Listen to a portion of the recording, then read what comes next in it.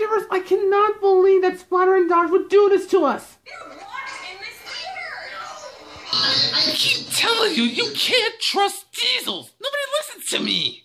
I know, Shivers, for once, you were right. Shane, I have to listen to Shivers from now on. First of all, you're not gonna listen to a rat. He might not know everything, but there's gotta be a key around here. Just calm down. There's no need to panic. Yeah, well, I'm sure there's a way out. Right, KO? Yeah, I mean, I'm not that scared, and also, at the same time, we have 24 hours to figure out how to get out of here.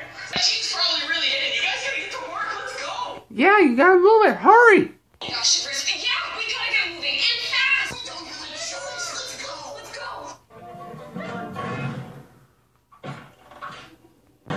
Move it, come on. Grumpus. Yeah, let's go, Gox, come on.